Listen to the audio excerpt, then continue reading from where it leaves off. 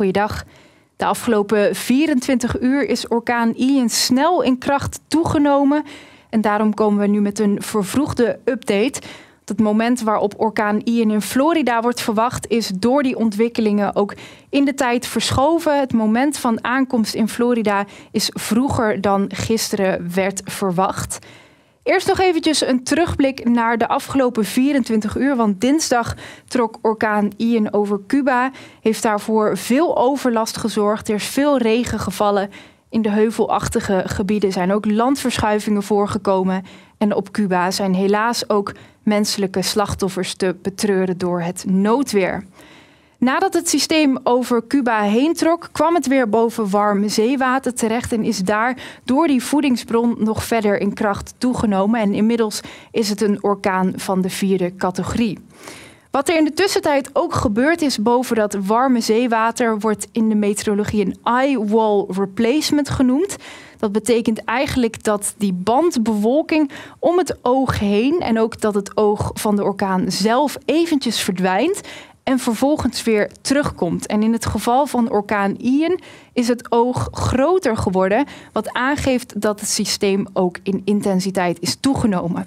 Ga ik het satellietbeeld nog een keertje laten lopen, dan kunnen we dat even in detail bekijken. We zien hier het oog van de orkaan, die verdwijnt eventjes en vervolgens komt hij vlak voor de westkust van Florida weer terug in beeld en is hij dus vervangen. Nou, naast de bewolking en het oog van de orkaan komt er natuurlijk ook veel wind en veel regen bij kijken. En dat zien we hier op het radarbeeld van de afgelopen uren. Daar is het oog van de orkaan ook duidelijk aan te herkennen. En vooral ook die enorme band met regen die om dat systeem heen krult. En het oog van de orkaan zet momenteel koers richting Florida. En over die koers zijn natuurlijk nog wel wat onzekerheden. Daar gaan we zometeen in nog wat meer detail naar kijken. Maar daarnaast dus ook veel wind en regen. Momenteel is Ian dus een orkaan van de vierde categorie. Daar komen windsnelheden tot 250 km per uur bij kijken.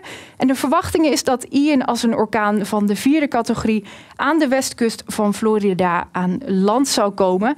En daarna valt al vrij snel die voedingsbodem van dat warme zeewater weg. Neemt het systeem in kracht af. Eerst naar een orkaan van de derde categorie, vervolgens eentje van de tweede categorie. En wat er daarna gebeurt is nog wel onzeker in de verwachting. We zien hier aan de witte lijnen een beetje de bandbreedte wat nu verwacht wordt voor de koers van orkaan Ian. En dan zien we dat het in kracht afneemt tot een tropische storm, maar dan wel weer boven relatief warm zeewater terechtkomt. Dus er bestaat een mogelijkheid dat het systeem in deze regio nog verder weer in kracht zal toenemen. Waarschijnlijk geen orkaankracht meer kan bereiken, maar wel langs de zuidkust, zuidoostkust van South Carolina nog voor flink wat overlast kan gaan zorgen. Aankomst aan land wordt woensdagmiddag lokale tijd verwacht. Dat is in Nederland in de avonduren. Vervolgens trekt het dan noordoostwaarts over Florida. Om vervolgens vrijdagnacht weer boven land aan of boven zee aan te komen.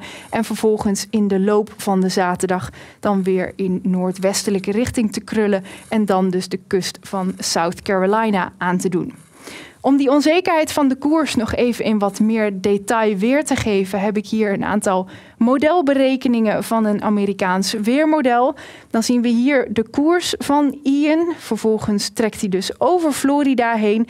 En dan zien we hier aan deze lijnen ook die onzekerheid maar wel veel berekeningen die dus die koers weer over dat relatief warme zeewater aangeven, waardoor het systeem dus nog weer in kracht kan toenemen.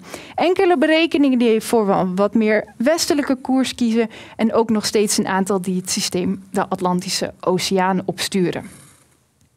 Woensdagmiddag en in Nederland dus woensdagavond komt het systeem aan land langs de westkust van Florida. En de karakteristieken van die kustlijn worden gekenmerkt door moerasgebieden, lagunes, maar ook veel huizen aan die kustlijn, strandhuizen, hele woonwijken. Dus wat vooral een rol gaat spelen is de wind die die golven gaat opstuwen. En dan komt er een storm surge bij kijken. Dat is hoe hoog de golven worden opgestuwd.